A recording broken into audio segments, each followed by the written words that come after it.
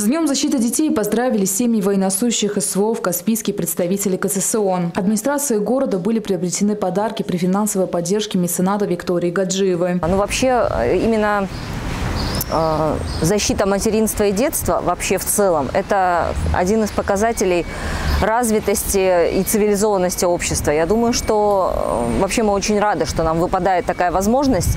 Э, в преддверии Дня защиты детей я хочу поздравить э, всех ребят. Я, буду, я надеюсь, что мы сможем, сделав детей сделать детей хорошими, сделав их чуть, чуть более счастливыми. Отметим, что вручили подарки сотрудники КЦСОН города Каспийска, которые начали обход семьи военнослужащих. Как отмечают организаторы, знаки внимания семьям, детям, участников специальной военной операции в городе Каспийске оказываются постоянно, а также предоставляют определенные услуги. В нашем центре э, предоставляются услуги э, как на дому, так и полустационарные.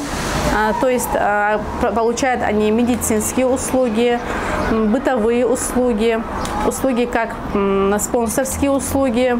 Проводим а, массовые мероприятия для них, а, приглашаем а, оказываем нужное внимание. Стоит подчеркнуть, что социальные службы руководства города, волонтеры и меценаты намерены и дальше продолжать благотворительную деятельность и участвовать в различных акциях.